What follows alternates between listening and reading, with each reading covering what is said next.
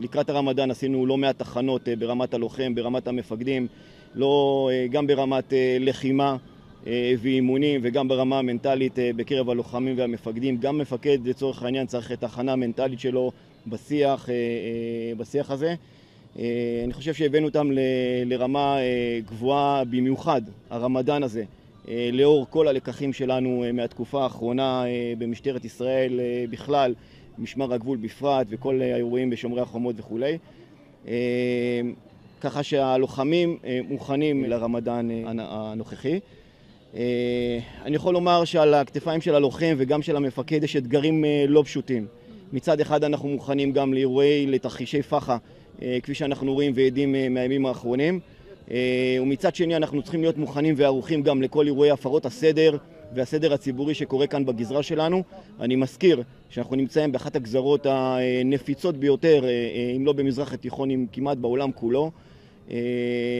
יש לנו את הר הבית ממש נושק אלינו ואנחנו פה בשער שכם, שאת השער הזה פוקדים לא מעט תושבים, גם אוכלוסייה מקומית וגם אוכלוסייה מבחוץ שמגיעה לכאן, מגוון ופסיפס של עדות, גם נוצרים, גם מוסלמים וגם יהודים שמגיעים לכאן ולנו מוטלת החובה באמת לראות איך המרקם חיים הזה באמת מתקיים במהלך היום ולנהל את שגרת ואת מרקם החיים בכלל כאן בשער שכם ובכלל אז כפי שאמרתי האתגרים הם מאוד מאוד גדולים. מצד אחד הלוחם פה מוכן לפח"ע לאור האירועים ומצד שני אנחנו מוכנים כאן להפרות סדר גדולות ומצד שלישי אנחנו עם כל ההנחיות והנהלים ומדיניות ההכלה כאן ברמדאן הנוכחי כדי שבאמת לאפשר כאן את, ה, את, ה, את החג ולאפשר להם לקיים את הרמדאן בצורה מכובדת. יש חששות בבית, אבל זה בשביל עצמי, זה הסיפוק העצמי שלי.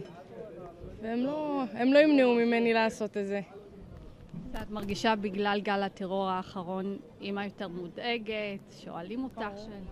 הם מאוד uh, לחוצים, כל הזמן פיגועים, מה את בסדר, מה את זה, ישר מתקשרים, שולחים הודעות.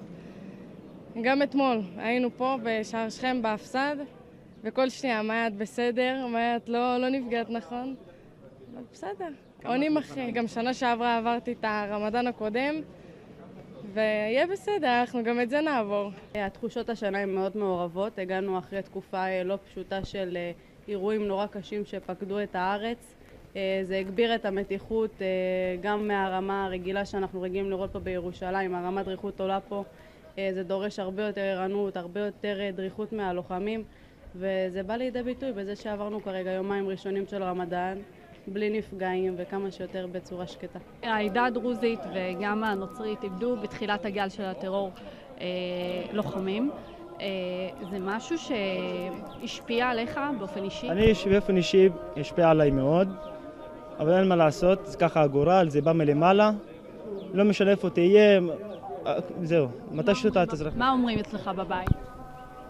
תשמור על עצמך, תפתח עיניים, אל תסמוך על אף אחד, תהיה ערני, תהיה מכובד עם כולם, קודם כל תהיה בן אדם, זה הכי חשוב, לא משנה גזע, מין, דת, להיות בן אדם זה הכי חשוב.